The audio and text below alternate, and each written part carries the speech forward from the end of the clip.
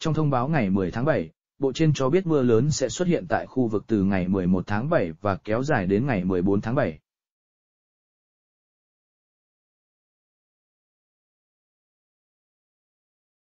Cơ quan này dự báo mực nước tại các nhánh sông Hoài Hà con sông lớn thứ ba ở Trung Quốc có thể chạm gần hoặc vượt mức báo động, tiềm ẩn nguy cơ cao gây lũ lụt trên diện rộng.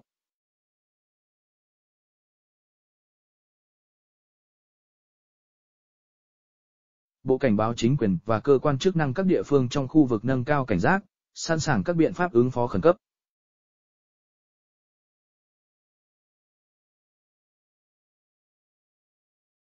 Với chiều dài 1.000 km, sông Hoài Hà lớn thứ ba ở Trung Quốc, sau sông Dương Tử và sông Hoàng Hà, và chạy theo hướng từ Tây sang Đông.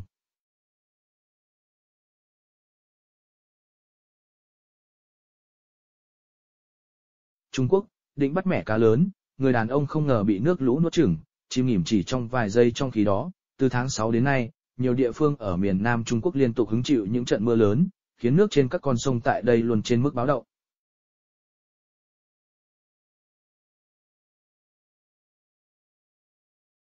Thống kê cho thấy từ đầu tháng 6 tới nay, lượng mưa chút xuống các tỉnh Hồ Bắc, An Huy, Chiết Giang và thành phố Trùng Khánh đã lên tới mức cao nhất từ năm 1961 với lượng mưa ở một số nơi cao gấp 2-3 lần mức trung bình hàng năm.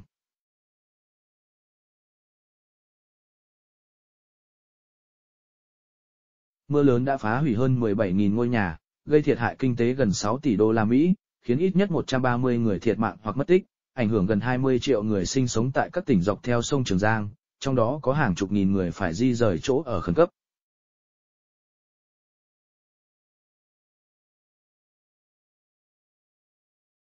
Hiện Trung Quốc đang nỗ lực phòng ngừa cũng như đẩy nhanh công tác cứu nạn và cứu trợ thiên tai.